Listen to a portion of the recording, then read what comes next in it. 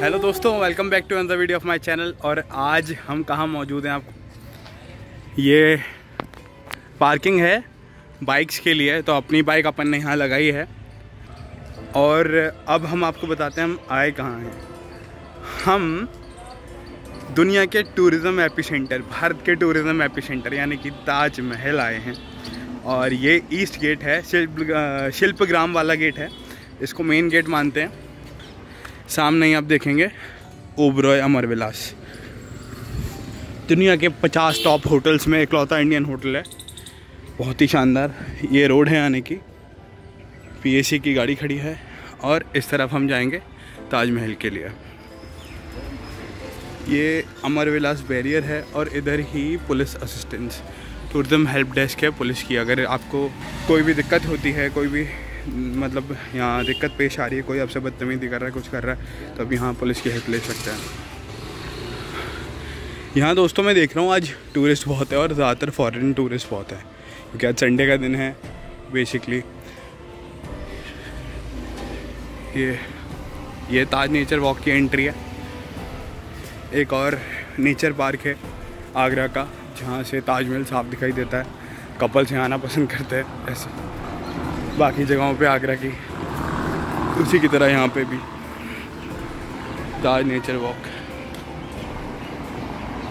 यहाँ का भी वीडियो है हमारे चैनल पे, अगर आप चाहें तो देख सकते हैं। यहीं से गाइड्स ने ट्रैप करना स्टार्ट कर दिया।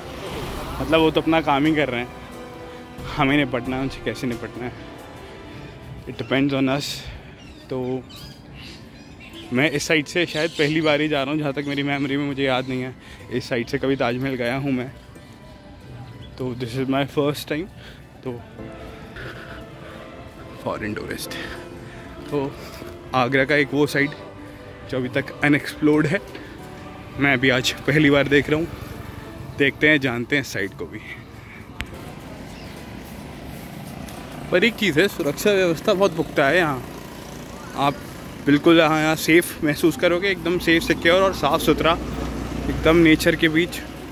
ये देखिए, मेरा वृक्ष कार्यक्रम, यहाँ शायद वृक्षारोहण, वृक्षारोपण होता है। तो इस साइड है मेन इस साइड बने हुए हैं सारे जो फॉरेस्ट ऑफिसर्स हैं, उनके घर बने हुए हैं। अब हम चलते हैं, आगे देखते हैं आगे क्या है। अगर आपको हैंडीक्राफ्ट वगैरह ख़रीदना है तो आप यहाँ आ सकते हैं। ये शॉप्स हैं। ये मोमोज़ की शॉप है। स्ट्रॉबी है यहाँ।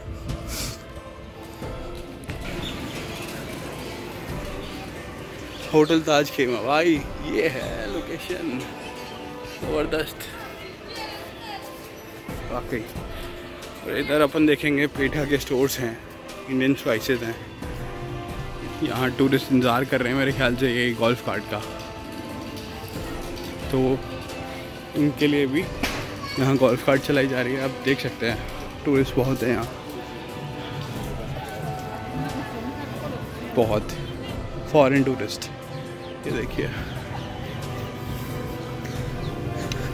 और यहाँ आके खुश होते हैं। वो दुनिया के एक one of the most highly rated tourist spot यानी कि Taj Mahal among the wonders of the world तो ये सारे एक्सपीरियंस शेयर करने आया हूँ। मेन यही कैप्चर करना है, बाकी तो चीज़ें दिखा चुका हूँ मैं। और इस वीडियो में भी दिखाऊँगा। लेकिन मेन ये एक्सपीरियंसेस जो यहाँ लोग आते हैं, जो ये भीड़ आ रही है, इस सब के बारे में मेन चीज़ें हैं। इधर ये पूरा मार्केट है अलग अलग चीज़ों के लिए। इधर हैंडीक्राफ्ट वगैरह के लिए है, इधर एक होटल रेस्टोरेंट है, ये कुछ एंट्रेंस आई है। ये कुछ स्पेशल लग रहा है। देखते हैं इसे आगे चल के।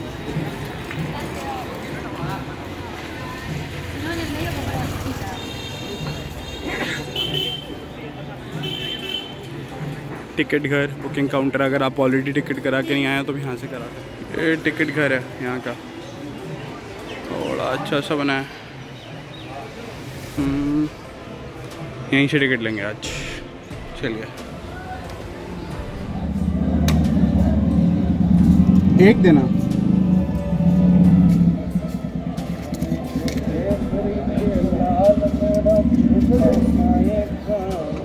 एक।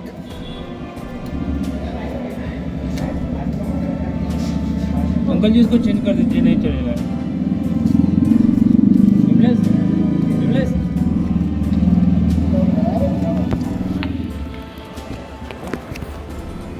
वाईफाई फैसिलिटी अवेलेबल ये फाइनली टिकट ले लिया हमने एंड इसके बाद एक टोकन टोकन मिलता है ये ऐसा।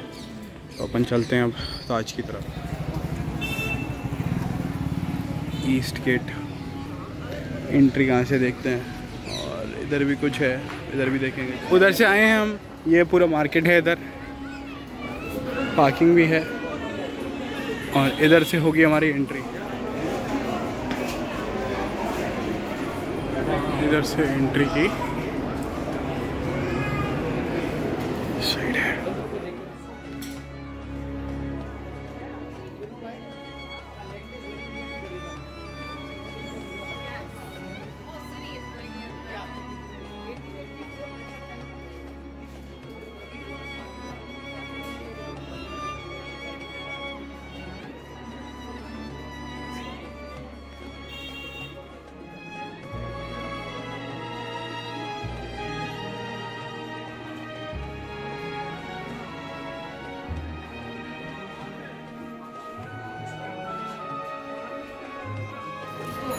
मेन एंट्रेंस पॉइंट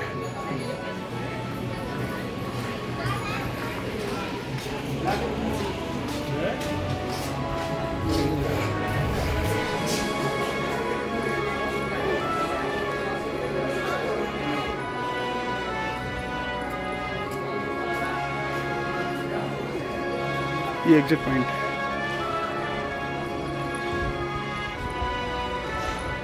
अभी तक जो पिछला वीडियो में आपने देखा था, वो हम सामने की तरफ़ से एंट्री किए थे। अभी हम इस साइड से एंटर किए हैं। ईस्ट गेट से, वो वेस्ट गेट है। एंड हमारे राइट पे है ताजमहल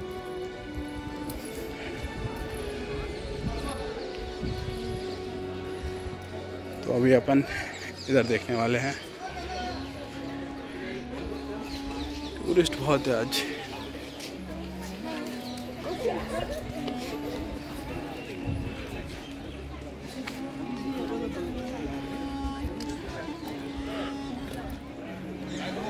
अच्छा ताजमहल और बाकी मोन्यूमेंट्स में आगरा के फ़र्क क्या है पता है? यहाँ पे आपको जितना क्राउड दिख रहा है मैक्सिमम फॉरेनर्स यहाँ आउटसाइड आगरा का क्राउड है। वहीं बाकी जगहों पे आप जाएँगे ना, जैसे सिकंदरा वगैरह तो वहाँ आपको सिर्फ़ आगरा का क्राउड दिखेगा, बाहर का बहुत कम। ये है मेन गेट हल्की हल्की झलक आपको ताज की दिख रही होगी सामने।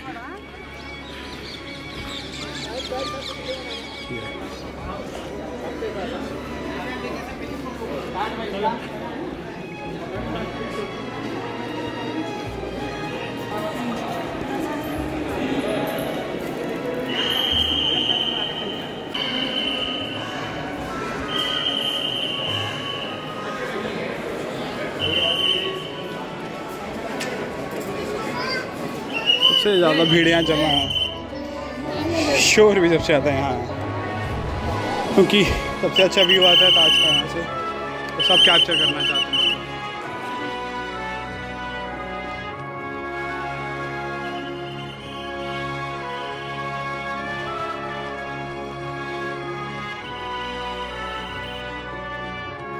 ये लिखा है, वीडियोग्राफी एवं फिल्मिंग की अनुमति सिर्फ़ यहीं तक है। ऐसे कि आपने आगे के ब्लॉग देखे ही नहीं होंगे। ये सब आपने पहले देखा होगा।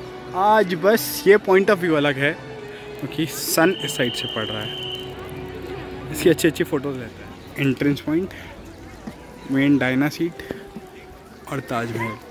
मतलब तो सबसे ज़्यादा अच्छी फ़ोटोज़ यहीं से आती है।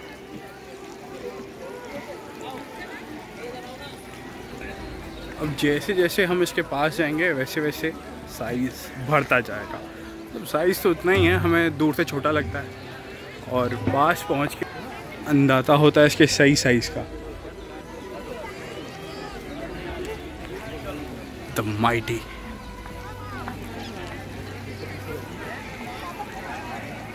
मुझे आज ऐसा क्यों लग रहा है, इसके फुहारे चल रहे हैं, जब मैं पहले आया था, तब नहीं चल रहे थे।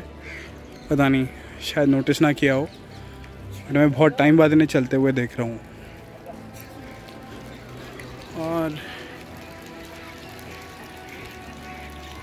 तभी ये भाई साहब बहुत ज़्यादा सुंदर लगता है।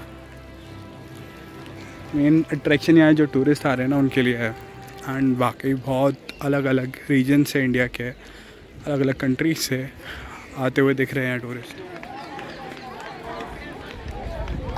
बच्चे, भीड़ बहुत है भाई। और जितने फॉरनर सीखते हैं, इनके साथ मज़ा आता है बच्चों को फ़ोटोज़ कराने में। कुछ डिफरेंट दिखाई देता है ना। Thank you.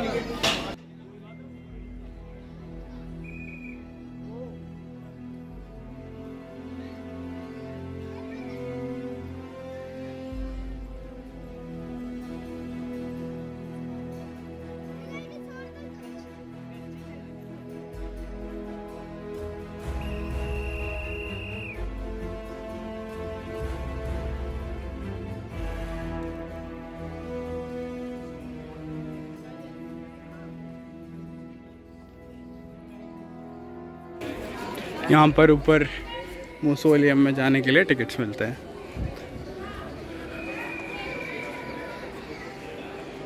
भाई साहब हमारे, लिखा है मस्जिद, ये कोई मस्जिद है।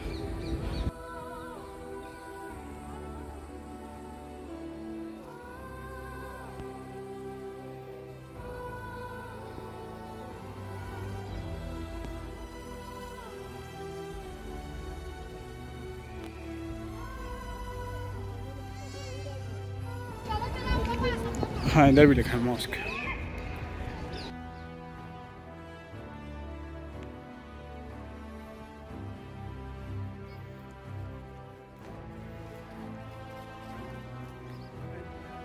पिछली ताजमहल की वीडियो में आपको मैं ये साइड नहीं दिखाया था, दूसरी साइड दिखाया था। इसीलिए स्पेशली मैं इस साइड को दिखाने के लिए आपको यहाँ आया हूँ।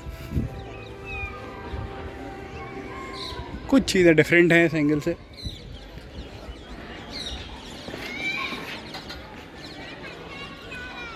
ये आ गए हमारी यमुना जी।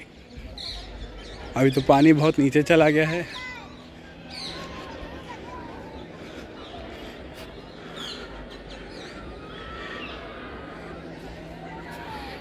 फोर्ट, वो दिख रहा।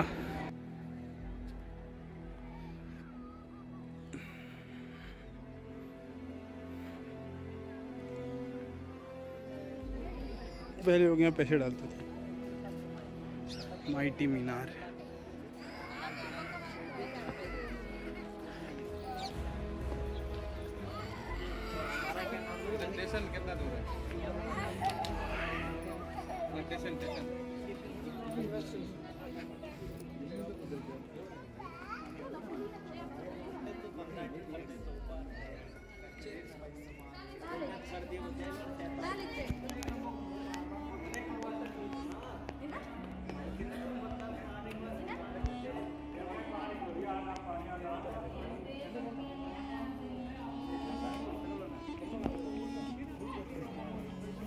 आज से नवरात्र चालू हैं तो वो दशहरा घाट है।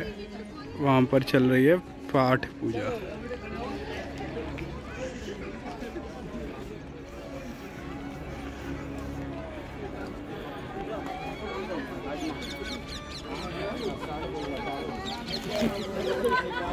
दोस्तों, ताजमहल से जुड़ी कहानी आपने बहुत सुनी होंगी। एक कहानी हमारी भी सुन लो। तो आज एक कहानी मैं आपको सुनाने वाला हूँ ताज की। कहते हैं, हाथ काट दिए थे जिन्होंने ताजमहल बनाया था उनके। ऐसा नहीं था। हाथ काटना मतलब ये था कि ज़िंदगी भर के लिए उनको ख़रीद लिया था कि अब तुम कुछ और नहीं करोगे ज़िंदगी भर। उनको इतना पैसा दिया गया था कि वो अपनी लाइफ अच्छे से काट सकें। एंड फिज़िकली हाथ नहीं काटते थे। हाथ काटने का मतलब ये था कि अब वो और काम नहीं कर सकते थे। दोबारा एक और ताजमहल नहीं बना सकते। इसी बीच एक बोट पहली बार आगरा में फ्लोट होते देख रहा हूँ मैं, यमुना रिवर में। माइट भी ये कोई पूजन के लिए या फिर फ़ोटोशूट के लिए जा रहे होंगे। आज बाहर का टूरिस्ट बहुत है आगरा में।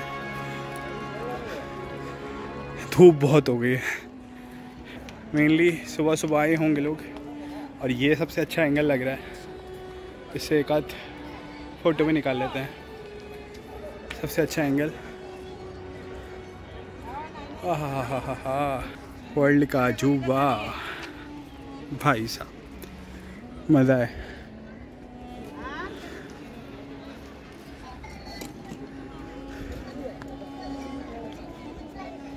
ये हम दूसरी साइड आ गए हैं.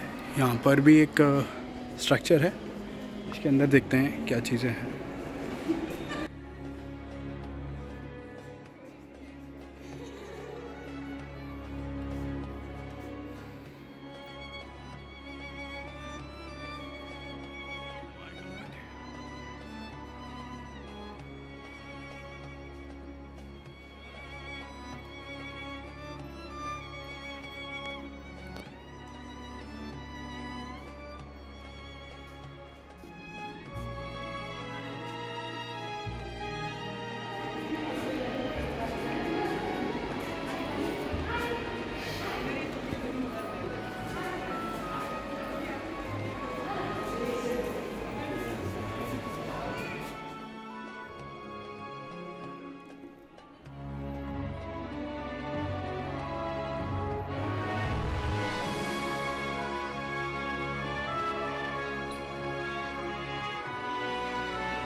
अब हम जा रहे हैं ताज म्यूज़ियम की तरफ़।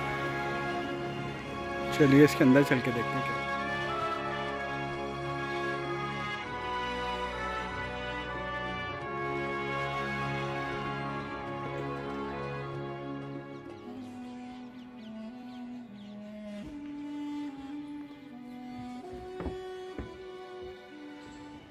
आपको लोकेशन दिखाऊँगा तो विश्वास नहीं होगा मैं ताजमहल के किसी कोने पे हूँ। ये साइड में खुद पहली बार आया हूँ। आपको दिखाता हूँ कैमरा पलट के। शायद अभी आप समझ ही नहीं पाएँगे मैं कहाँ थोड़ा सा हिंट अब मिल जाएगा।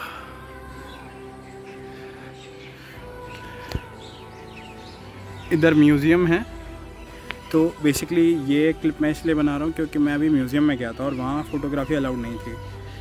म्यूज़ियम में बहुत सारी चीज़ें हैं, जैसे ताजमहल का जो ब्लू प्रिंट है, वो बहुत बड़े कपड़े पे बना हुआ है। मेरे ख्याल से कम से कम 20 फुट तो लंबा होगा और चार से पाँच फुट चौड़ा होगा वो कपड़ा। उस पर पूरा लेआउट बना हुआ है ताजमहल का। इंक्लूडिंग यमुना रिवर एंड उस उस साइड का पोर्शन भी।